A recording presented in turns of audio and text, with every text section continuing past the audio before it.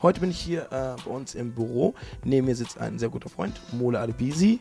Ähm, heute geht es darum, es geht um die zwölf Personen. Ich will Mola mal fragen, was er denn jetzt letztendlich von den zwölf Personen gehalten hat. Also, Mola, du hast die zwölf Kandidaten gesehen, die wir äh, nur übers Netz gefunden haben, über die Partys, über Portale. Was sagst du dazu? Also erstmal klasse Geschichte, übers Internet eine Band zusammenzukassen, finde ich gut. Ähm, ich habe die zwölf Kandidaten gesehen und äh, muss sagen, da steckt echt verdammt hohes Potenzial drin. War bestimmt nicht einfach für euch, euch da mit den ganzen Hunderten von Einsendungen, die da gekommen sind, irgendwie die zwölf Besten auszusuchen. Also war schon eine schwierige Aufgabe, habt ihr gut gemacht.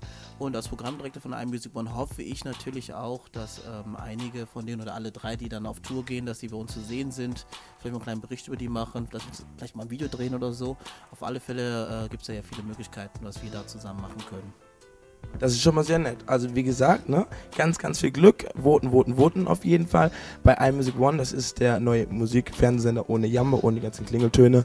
Äh, wenn wir da einen Platz bekommen, da aufzutreten mit der Band, ist das schon mehr als Traum, dass wir es bekommen. Vielen Dank dafür, Mona. Ja, wieder gerne. Hast du sonst zum Schluss noch was zu sagen vielleicht? Irgendwie äh, Band, Glückwünsche wünschen, ich weiß nicht, irgendetwas? Ist immer wichtig, also guckt iMusic One, wenn ihr einen vernünftigen Musiksender sehen wollt und votet auf nanas-band.de. Cool, das war's. Vielen Dank. Vielen Dank, Mola.